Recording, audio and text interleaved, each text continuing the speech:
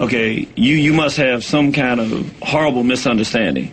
I am the single most anti-homosexual individual, has the most anti-homosexual platform in this society.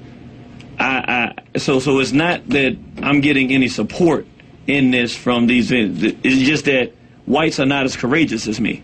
So I just want you to be very clear. Whites are not, in general, as open and clear about what they disagree with and won't stand their ground the way that we stand our that's ground. Stereotype. That's like saying black people love watermelon and fried chicken. I'm a white guy. I'm absolutely against it. That's, I think that's the one thing we probably agree on. I hate gay people. Uh, I hate the gay lifestyle. You know what? I hate the gay people. So, you know, I guess that's one thing we can share some common ground on.